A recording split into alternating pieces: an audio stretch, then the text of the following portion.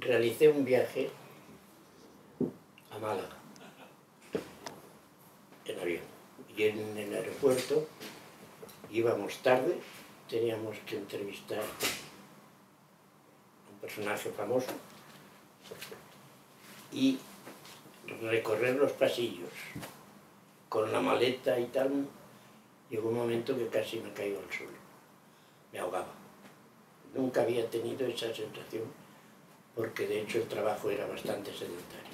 Trabajaba en la industria química, entonces la aspiración de disolventes, productos químicos varios y el ser fumador. Y esto, dijéramos, es lo que a partir del año 1999 pues me ha, me ha ido, dijéramos, eh, limitando mi vida. I jo sempre he sigut molt fumador des de ben, des de ben petit, les coses com siguin. Però no allò de 10 cigarros o 15, no. 30 cigarros, o sigui, perdó, 60 cigarros al dia, que són tres paquets. Jo era normal, això ja. Y a raíz de aquello, creo que fue en el 98, cuando regresé, fui al, al médico y me diagnosticaron un enfisema severo. Fui al especialista, al neumólogo, y entonces me diagnosticó todavía que tenía una afección pulmonar, pero en grado todavía no muy desarrollado. Y me facilitó un tratamiento a base de nebulizaciones, a base también de alveolos, i con eso me mantuve más o menos correcto.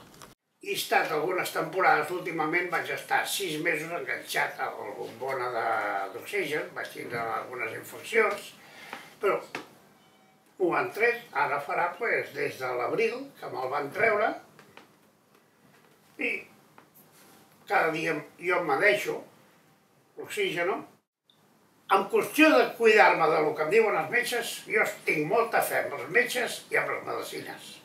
Per tant, jo compleixo amb això. Lo del oxígeno me lo he tomado como una rutina. Tengo cuatro horas libre, vivo con mi mujer y entonces digo, ¿sabes qué? En lugar de cocinar nos vamos al restaurante al mediodía. Por la noche nos hacemos una, una tortillita, un de pan de tomate, fruta. Y, y esas cuatro horas las aprovechamos para lavabo, aseo, afeitarte, tal, ir a la comer al mediodía y el resto, pues el tema de, de respirar. Si viene alguna visita, algún amigo, pues siempre estoy. Pero he sabido combatirlo, a pesar de todo, porque me impuse una meta, no darme por vencido. Y el no darme por vencido significó, dijéramos, pues no sé, obligarme a, caminar, obligarme a, a, a realizar a un esfuerzo de subir escaleras, etcétera, etcétera.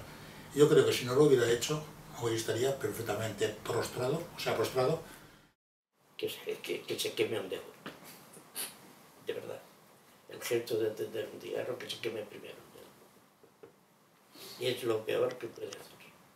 Porque además es la crónica de una muerte anunciada. que no se rinda. Sobre todo que no se rinda. Es limitante, pero se puede superar. O sea, siempre quedará un, vamos a decir, una, mm, un recuerdo de que hubo tiempos mejores, pero no debe ser, dijéramos, un obstáculo el ver un horizonte, vamos a decir, esperanzador. La medicina avanza, yo creo que las soluciones que están aportando son cada vez mejores. Entonces, sobre todo, no darse por derrotado.